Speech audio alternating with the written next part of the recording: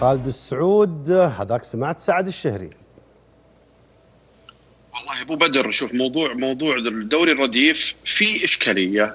الإشكالية هي أنك راح ترفع عدد اللاعبين بكل نادي معناها راح تقيد حركة الانتقالات معناها في لاعبين كثير. أبو بدر اللاعب اللي ما يلعب في ناديه ترى ناديه بإمكانه انه يعيره.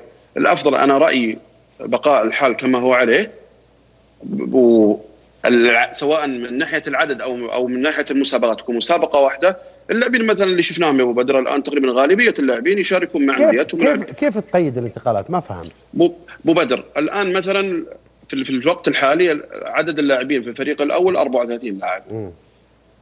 آه لو لو قرينا دوري الرديف معناها خانة اللاعبين راح تتمدد إلى مثلا 40 أو 50 صح ولا يا أبو بدر؟ طيب. في بعض اللاعبين ما يلقون فرصة عندك أنت بتمسكهم بدوري الرديف. يا أخي عيرة خله يلعب ويشارك بس اذا إذا تألق وبرز الجمهور أصلا راح يضغط على النادي ليه ما تلعبونه بالفريق الرئيسي. أبو بدر لأن أصلا الجمهور ما راح يشوفه الا الا, إلا لما يلعب في مسابقة قوية جدا. خله يروح. في لاعبين كثير. لا كيف؟ لا لحظة كيف دوري رديف ما يزيد؟ الدوري الرديف معناته إن الهلال حيلعب مع النصر بس بالفريق بي. لو يلعبون الهلال والنصر بفريق الناشئين الناس تفرجت يعني. كيف عاد بي؟ B يعني يعني تحت الفريق الأول. إذا تتكلم عن مباريات الديربي وغيرها حتى في الفئات السنية لها اهتمامياتها وكذا. خليني أعطيك مثال أبو بدر من اللاعبين اللي أعيروا لأندية وعادوا بشكل أقوى. كلنا نتذكر محمد البريك. ما كان ما كان له مكان في الهلال راح سنة للرائد وبعدها وين محمد البريك؟ لاعبين أنا على هذا مثال واحد أنا ذكرته وفي أمثلة كثيرة. طيب إيش يضر محمد البريك؟ بدل ما يروح للرائد يروح يلعب في الهلال B.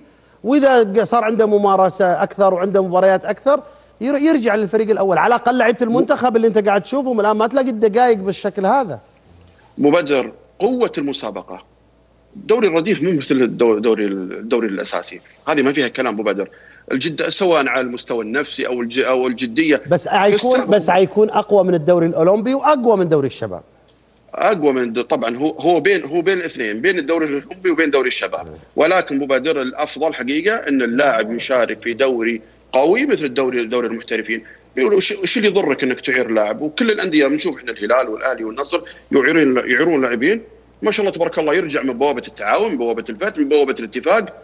ثاني يوم تشوفه ما شاء الله تبارك الله موقع بعقد بذيك القيمة وفي المنتخب. ما أعتقد